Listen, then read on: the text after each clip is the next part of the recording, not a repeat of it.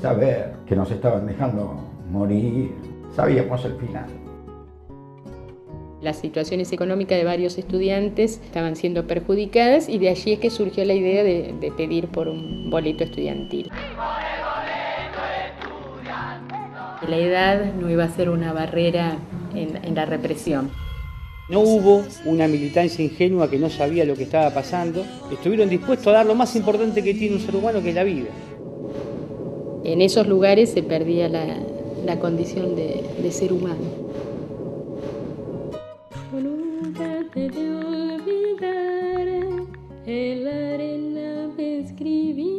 Y así seguíamos cantando.